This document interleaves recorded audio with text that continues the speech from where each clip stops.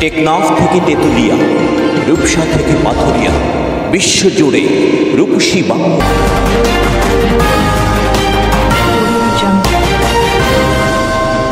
প্রধানমন্ত্রী শেখ হাসিনাকে হত্যার হুমকির প্রতিবাদে নেত্রকোনায় ছয় মামলা। নেত্রকোনার প্রতিনিধির পাঠানো তথ্য ও ভিডিও চিত্রে দেখুন বিস্তারিত। আওয়ামী লীগের সভাপতি ও বর্তমান বাংলাদেশের প্রধানমন্ত্রী শেখ হাসিনাকে রাজশাহী জেলা বিএনপির আহ্বায়ক আবু সাইদ চাঁদ প্রতীক হত্যার হুমকির প্রতিবাদে ও এর দৃষ্টান্তমূলক শাস্তির দাবি করে নেত্রকোনার অতিরিক্ত চিফ জুডিশিয়াল ম্যাজিস্ট্রেট আদালতে চারটি মামলা দায়ের করেছেন বাংলাদেশ ছাত্রলীগের সাবেক সহসভাপতি, কেন্দ্রীয় আওয়ামী লীগের উপকমিটির সদস্য রেজাউল হাফিজ রেশিম, আওয়ামী লীগ নেতা মাসুম পারভেজ খান, পৌর আওয়ামী লীগের যুগ্ম সাধারণ সম্পাদক শফিকুজ্জামান আকন্দ ও জেলা যুবলীগের আহ্বায়ক কমিটির সদস্য সিদ্ধার্থ সরকার পাল বাবু। হুমকিদাতার বিরুদ্ধে দৃষ্টান্ত শাস্তি দাবি করেন উপস্থিত নেতৃবৃন্দ। জাকির হোসেন, রূপসী বাংলা টিভি। গণপ্রজাতন্ত্রী বাংলাদেশ সরকারের মাননীয় প্রধানমন্ত্রী, জাতির জনক বঙ্গবন্ধু শেখ মুজিবুর রহমানের কন্যা আমাদের সবার আশ্রয়স্থল যিনি উন্নয়নের উপকার।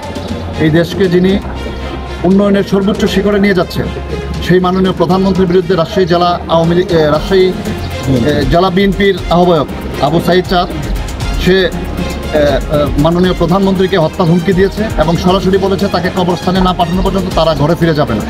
এই বক্তব্য, এটা শুধু সে যেহেতু একটা সংগঠনের একটা জেলার প্রধান, এটা শুধু তার নিজের বক্তব্য নয়।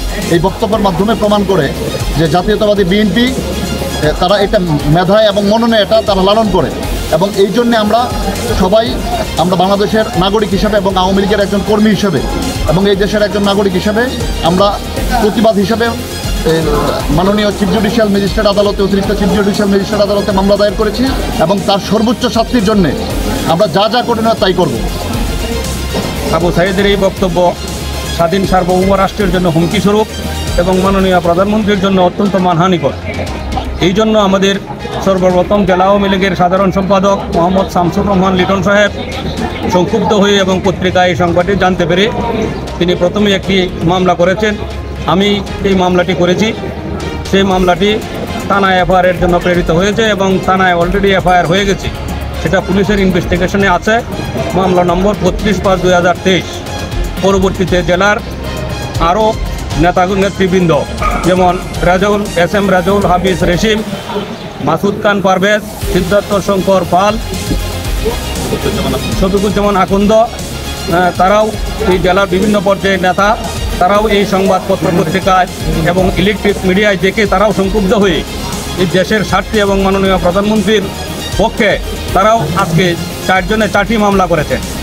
অতি- বিজ্ঞ অতিরিক্ত চিফ জুডিশিয়াল ম্যাজিস্ট্রেট চারটে মামলায় আমলে নিয়ে তিনি এই চারটি মামলায় এফআইআরের জন্য নেত্রকোনা মডেল থানায় প্রেরণ করেছেন।